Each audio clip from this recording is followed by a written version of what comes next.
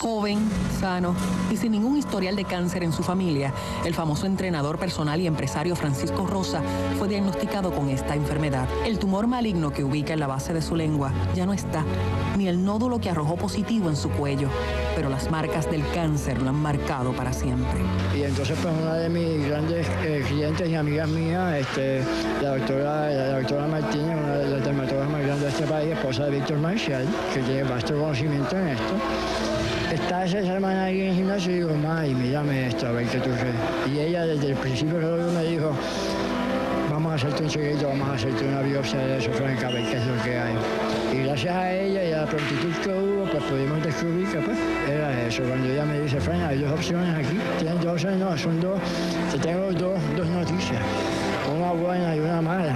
Y yo, bueno, pues, dime cuál es la mala. Bueno, me dice, no hay palabras para decirlo, Frank, tienes, o sea, tienes cáncer. Yo me senté, a esos tres segundos y uno dice, ¿qué es esto? O sea, wow. Pero de mis dos opciones, la única que tenía era pues echarme a reír y dije, bueno, pues entonces dime cuál es la buena. Tú sabes, esa es la mala, dime cuál es la buena. Y pues sí, dentro de todo, pues era un cáncer que pues allá donde salió este, era operable, se podía trabajar a tiempo, pero teníamos que movernos rápido, eso fue lo que se hizo. Yo me tuve que quedar calladito, mi gente se tuvo que quedar calladito y me tuve. Y salimos corriendo a Nueva York y pues todo el proceso hasta ahora, que es que pues yo me presto a mi gente definitivamente a quienes le debo el apoyo gigante que me han dado. Sin embargo, más que sobreviviente, Francisco siente que renació, por lo que se convirtió en un motivador para todo aquel que piense que lo perdió todo. Porque tú nunca dejas de ser quien tú eres, nunca, independientemente de lo que tú estés pasando físicamente. Nunca dejas de ser quien tú eres, tú nunca lo dejas de hacer.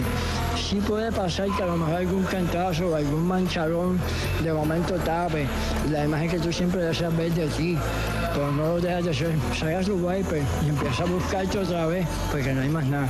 En esa línea inquirimos si ha podido hablar con nuestra Dagmar, quien supuestamente padece del mismo tipo de cáncer que él. A mí me inundaron de llamadas, tan pronto se enteraron de lo de Dagmar. La misma gente que sabía del caso mío, a ver si yo había tenido oportunidad de verla. Lo digo aquí, lo digo por primera vez. Yo estuve reunido con él, Carlos, muy amigo mío, y que también comparte con ustedes. Y, estamos con muchas ganas de poder verte, Dagmar, y poder compartir contigo. Mi soledad está completamente allí. Yo sé por lo que ha estado pasando y, te digo, la experiencia que yo llevo y que yo tengo, yo sé que tú vas a superar mil veces más. O sea, yo toda la vida no solamente el respeto, sino la admiración ante ella y, y, la fortaleza que ella necesita para tener y para hacer lo que yo sé que lo va a poder hacer. No te duermas.